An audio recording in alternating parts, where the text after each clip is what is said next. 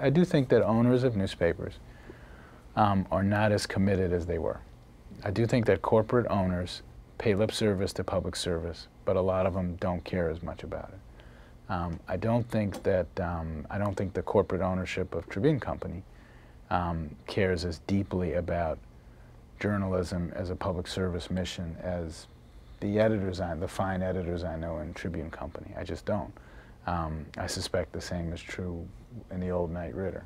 Um, there's some owners who are different. I mean, Gary Pruitt of McClatchy, who have been on a panel, what seems to care more more deeply. Um, but I think it's true. I think some of these clashes were inevitable because, you know, editors we have a different job. You know, my job is uh, my job.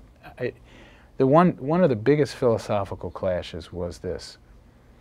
All these editors, including me, had become in the in the minds of the owners we were supposed to be invested in the mission of the paper. And part of the, their mission, my mission was doing a certain kind of journalism. Their mission was keeping the margin at a certain level. The company. Yeah, and yeah. I think that they, I think that they can't, they can't reconcile the fact that editors are not corporate executives, that editors are not committed to the same mission they're committed to. I think, I think that that's part of the struggle. I think when, when we all went public, um, at a lot of companies, not the New York Times, thank God, not the Washington Post. Um, the ownership expects editors to be like division managers. Right. You know? And I, my, a lot of my clashes where they were asking me to do things that there was no, you know, of course you'd ask the advertising department to do some of the things that they, they wanted me to do in terms of cuts, but I didn't regard myself as a division manager.